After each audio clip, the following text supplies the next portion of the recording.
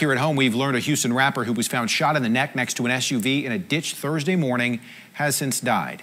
Police identified the man as 36 year old LaPreston Porter. Porter, better known by his stage name, Snootie Wild. Investigators tell us a woman reported it was her vehicle that ended up in the ditch on Alice Street.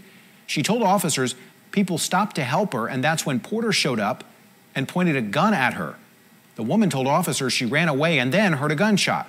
Investigators also say a neighbor caught the entire incident on camera. Porter's fiancee, Crystal Meredith, spoke to ABC 13 earlier today and also confirmed he was the one shot at the scene, but she said he doesn't have any enemies and she doesn't know.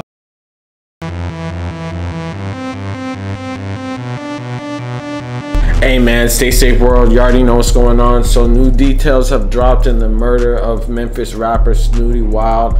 A new person, Ivory Duke Williams, is charged with the murder death of Snootie Wild, who was killed in Houston in the past February, man. We're gonna get into the situation and everything that went down. But before we do, I'm gonna need y'all to like, comment, subscribe. Make sure y'all turn on the notification bell if you haven't already. And check out the merch at www.staysafeworld.com. So let's get it, man. Yo, so this situation is super crazy, convoluted and there's not really a lot of real details on what exactly occurred but a new person is basically getting charged with the death of Snootie Wild aka LaPreston Porter III man this occurred all the way back in February 25th 2022 at around 2 a.m on 4213 Alice Street in Houston, Texas, police responded to a report of gunshots with the ShotSpotter program. At the scene, officers found Porter in a ditch with a gunshot wound to the neck.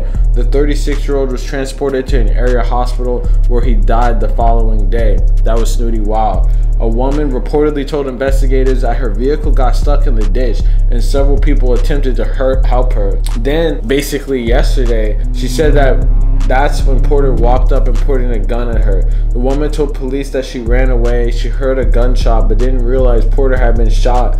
She called 911, told dispatchers the suspect fled in a dark colored van. Then, basically yesterday, the booking photo of Ivory Duke Williams is now charged with murder in the fatal shooting of the man. Further investigation, police identified Williams as the suspect in the shooting. He was arrested on Wednesday, December 14th without any type of incident, man.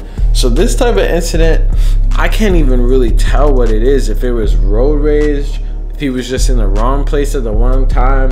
The lady who has said that she was a Kurd said that she didn't have any enemies, and the other dude didn't really have any enemies either. And the dude ended up getting shot on some crazy shit, man. Like, honestly, God knows what the fuck happened there, but it definitely seems like whoever the fuck killed him was probably acting in some type of self-defense i would assume because like why are you just attacking some random person that's in a ditch man?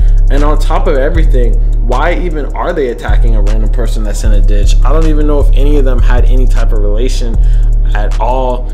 It was kind of crazy because she got stuck in the ditch and then multiple people were helping her out of the ditch and then this is when the whole shooting and everything went down and then Snootie Wild ends up getting killed, man. Could have been some type of strange instance of someone following them and thinking that she was cheating or some crazy shit like that, man. Or like, honestly, it could have been road rage, some incident like that. But the way that it's described in the incident in total, like it makes no sense. And that's what kind of all you can make sense of this type of shit. Like especially with Snootie Wild being the one that's gunned down, it makes no sense. Like why any of this shit happened, man. I feel like it doesn't even make any sense. Also, like why he was the first one pointing a gun at her when she was stuck in a whole ditch.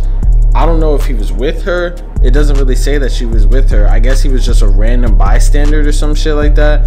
And then maybe something got heated and he ended up pulling up a gun at her.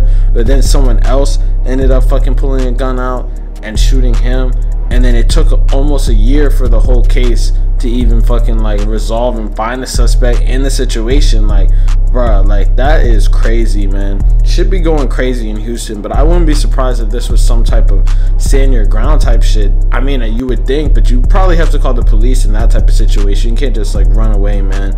But hey let me know in the comments what y'all think about this situation man you already know what's going on. It's a whole convoluted mess, and Snootie Wild ended up losing his life from that shit. But you know, let me know what y'all think about that shit. Real say say shit. You already know what's going on. Make sure y'all like, comment, subscribe. Peace.